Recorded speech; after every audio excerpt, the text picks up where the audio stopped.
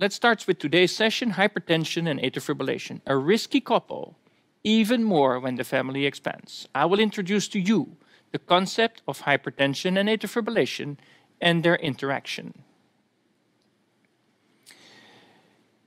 Hypertension.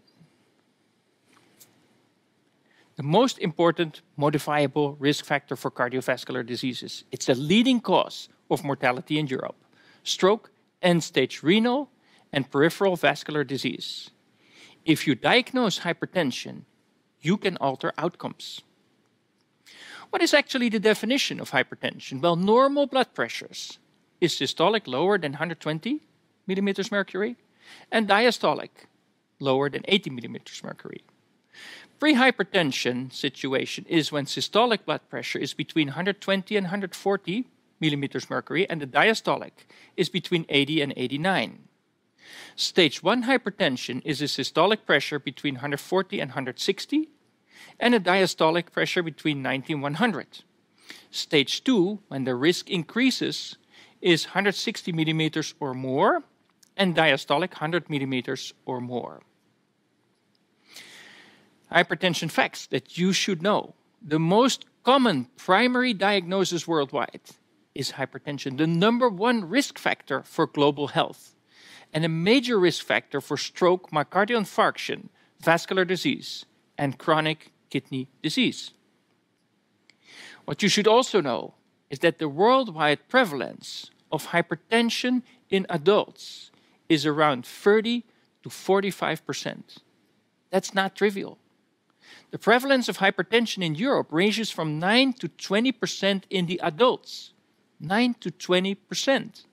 And it ranges from 44 to 60 in the elderly. Almost 60% in the elderly. So most important is awareness. And if we ask people, it appears that only 50% of individuals realize that they have hypertension. 50% only. And despite intensive medical therapy and guidelines, you see here the period from 1999 to 2016, over that period, with new guidelines and intensive medical therapy and new developments in medical therapy, there is no reduction in prevalence. You see a flat curve. That means that over the years, nothing has changed. And with the increasing aging population, what we see nowadays comes an increase in hypertension prevalence. If you look at these bars here, I'm just going to ask you to look at the light greens, and that's 60 years and over. And I put the circles for you there. So 63% in the total, 60, almost 58.5% in men, and 66.8 in women have hypertension. That's not trivial. That's huge. Hypertension is also associated with worse outcomes if you don't treat it or when it's uncontrolled. And these are these two. You see here the highest event rate is in the patients that are left untreated or uncontrolled hypertension. There is a relation between hypertension and atrial fibrillation. Long-standing hypertension results in aortic stiffness.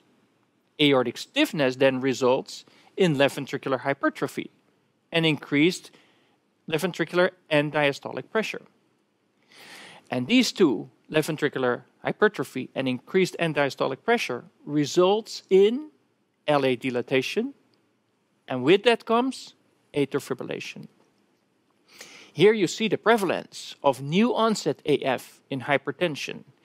And even if it's in red, intensive treatment, or it's in blue, standard treatment, the prevalence of atrial fibrillation is exactly the same. So treatment has some effect, but not as much as we want.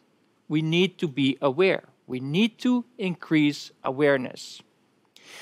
AF occurs frequently in hypertension, and with that comes a high risk of stroke.